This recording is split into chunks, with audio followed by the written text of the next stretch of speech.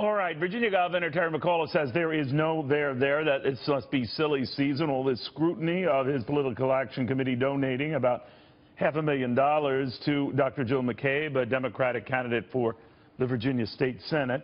Uh, she went on to lose, but people are looking back at that donation now because it so happens that she was married to Andrew McCabe, now the Deputy Director of the FBI and a, a key figure in uh, overseeing what the FBI was going to do about those Hillary Clinton emails. Fellow wants to get to the bottom of all of this is John Whitbeck, Virginia Republican Party Chairman.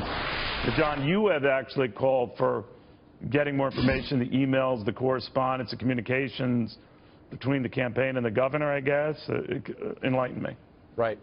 Well, you know, we've, we've made a FOIA request to the governor. We want to know what the communication was between Dr. McCabe during this campaign and Governor McAuliffe. And, you know, out of nowhere, the Lieutenant Governor of Virginia calls a person who's never run for office before and asks her to run for office in a district that is completely unwinnable for Democrats. And they proceed to give her, you know, almost half a million dollars out of a super PAC, and then the Democratic Party gives her over $200,000. And then that race is over, and then all of a sudden, this her husband is appointed to be the you know, second in command at the FBI and is overseeing the Clinton email investigation. So it's these coincidences that the Clintons find themselves in and our governor finds himself in are just, uh, they look shady. You know, John, they come back and say uh, there was no quid pro quo. He gave, or his political action committee gave, more money to two other candidates. I don't know what they won or lost, but, but it, that this is nothing special or different. What do you say? Well, you know, they had an established candidate running already in that district, probably someone who had a better chance of winning, and at least the candidate thinks so. And I, I, I live in Loudoun County where this district is. It's a very right. conservative district. And, you know, for them to clear the field for this particular person who's never run for office before just is one of those coincidences that the Clintons keep having happen to them. So let's play this out and what might come of your request and trying to get more information would it even be that blatant? In other words, in the communication, would are, are you looking for a smoking gun like someone on the governor's staff saying, do you know who her husband is or that kind of stuff? I mean, uh, short of that, you might come up empty, right? Well, I think, I, I, no, I don't think so. I think no matter what happens, if you look at the timeline of this, and, you know, and what we're hoping to do with the FOIA request is find out what Terry McAuliffe knew and when did he know it. And with this FOIA request, if we get back communications between him, his campaign, or her campaign, and in his office where they're talking about the fact that he's a high-ranking FBI official. And, you know, one of the things that created this situation in the first place that made us really question what's going on here is the denial that came out from Jill McCabe and the FBI after this happened. Jill McCabe yesterday put out a statement that you all reported where right. she basically denied that her husband had any involvement in the campaign whatsoever.